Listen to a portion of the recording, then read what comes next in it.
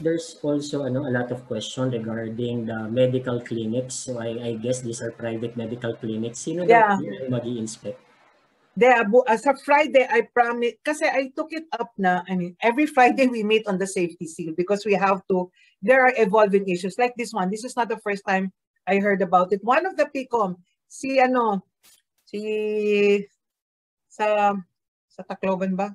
Ah, si, oh, si Joey ba? Si Joey ba yung nag, ano, sa, uh, who asked me about healthcare, the clinics.